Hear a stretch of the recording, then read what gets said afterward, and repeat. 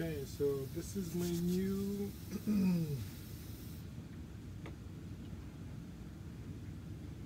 Nerf gun design. So all the basic components are sitting here. The video a while ago was about making rifling the barrel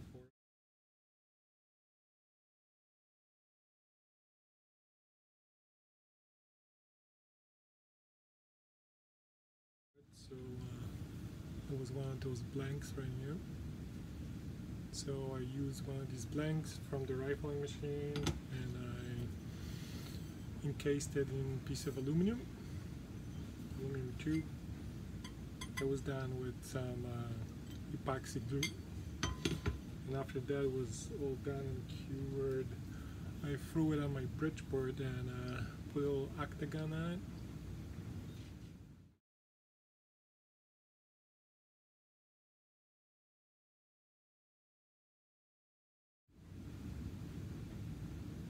Left a couple of uh, diameters over here so I can clamp on the sides.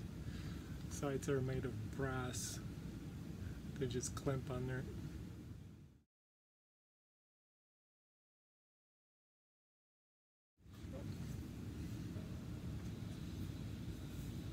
Everything is big and exaggerated so it looks cool.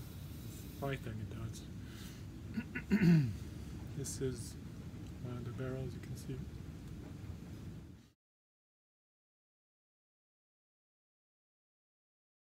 And after experimenting, I had to put these uh, stabilizers on. so what happens is uh, the Nerf dart is so light that when it leaves the barrel, the air behind it disturbs the back of it so it uh, doesn't fly straight. So with these over here, the pressure is being released before the dart actually leaves the barrel so uh, it flies nice and straight. Actually that's just like a paintball gun. They have the same kind of stabilizing holes in it. So that's the barrel. This is the receiver.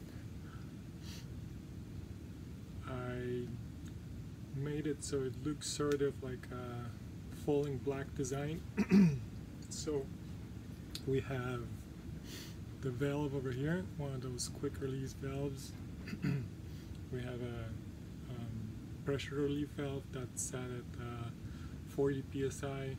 We have two staging tanks over here and a regulator. So there's going to be a couple of these tanks behind in the uh, in the stack. Those are going to be high pressure tanks. This is going to be low pressure tanks. So every time you squeeze the trigger, these get emptied and slowly getting refilled. From this one, there is a restrictor in here that I put in with a filter. Plus, uh, so here's the way it works. We've got a little black. So this way right here this is an input hole from the uh, valve. This is the uh, output into the barrel. So you see it matches up with the input from the from the valve, and here's the barrel. So when this is over here and it's down, you can load, then you close it up, and the air from from the valve will go into the barrel.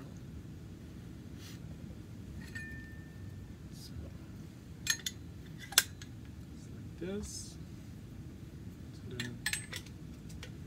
This goes over here. I made it pretty close so it doesn't need uh, O-rings and a little bit of loss, little loss of pressure is no big deal. It's a freaking toy.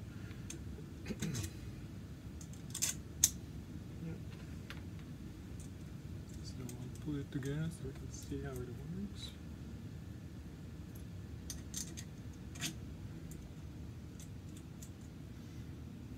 I chose castle nuts for a effect.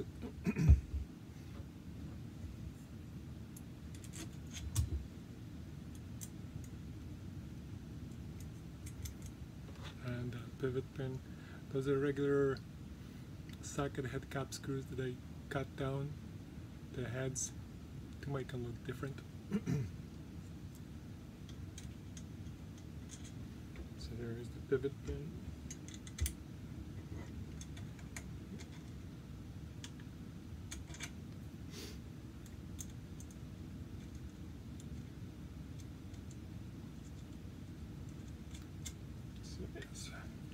See the way it's going to work.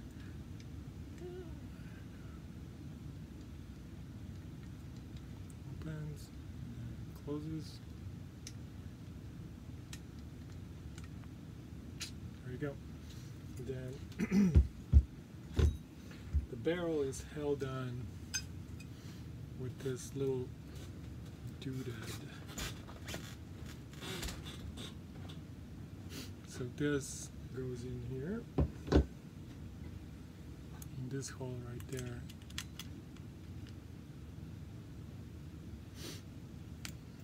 You can see. So when you when you tighten it, it pinches the barrel and pushes it against the wall and top wall and uh, keeps the barrel actually in the same spot every time. so the barrel back in place. It's really close. I machine everything too close all the time.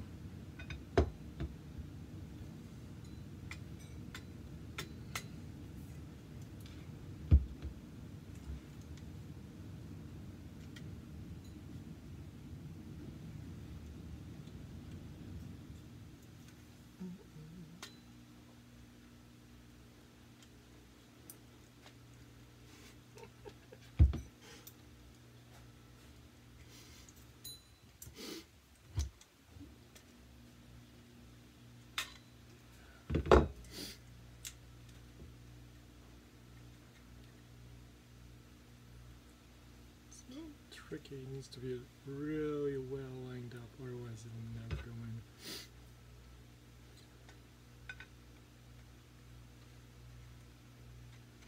There we go. Yep.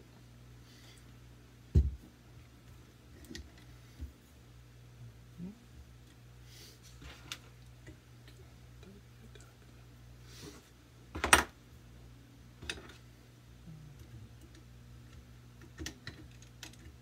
And it's all made out of aluminum and I did not anodize anything so you have to be really gentle not to scratch anything up. So there go. So these are only for looks so you can see. I actually um, um, etched it acid etched it. And then here we have kind of a KW, Kuba's Workshop, and JVG 625.